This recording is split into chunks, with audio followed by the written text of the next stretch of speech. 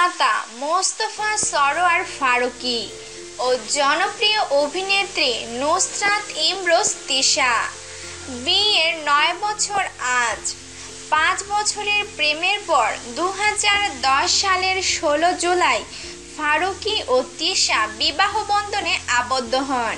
বিশেষ এই দিনে ফারুকি ফেসবুক পোস্টে লিখেছেন, ভালো সময় হোক কিংবা খারাপ। তথাকথিত সাফল্য কিংবা ব্যর্থতা, চাপে এবং তাপে, নিষ্প্রাণ বা প্রাণবন্ত, ঝলমলে বা একঘেয়ে মুহূর্তে, নয় বছর একই রকম পাশে থাকার জন্য ভালোবাসা হ্যাপি অ্যানিভার্সারি টু আস।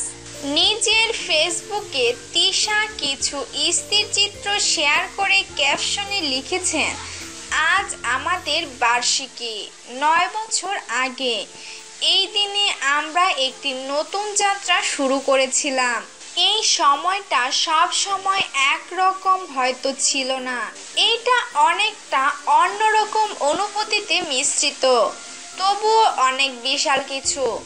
সব কিছুর জন্য আলহামদুলিল্লাহ।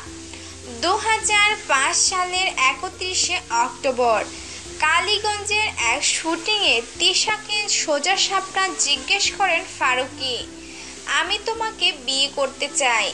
তুমি কি আমাকে বিয়ে করবা?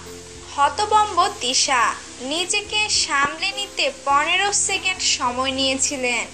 তারপরই হা বলার মাধ্যমে নিজের সম্মতি জানিয়ে দিলেন। এরপর থেকে তাদের প্রেমের গল্প শুরু।